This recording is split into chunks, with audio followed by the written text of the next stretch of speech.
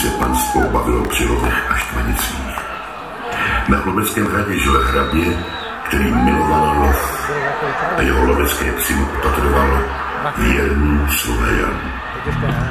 Při jednom z lovů se zaběhnul jeho nejlepší pes. Hrabě byl velice nešťastný a jeho hněv přivolal na hrad starou čarodějnici, která žila v močálech. Tam mu nabídla svou pomoc. Přivedu ti o půlnoci tvého chrta zpátky, ale vezmu si za něj krev jednoho z tvých nejvěrnějších sluhů. Hrabě souhlasil. A tím začalo jeho prokletí se jménem.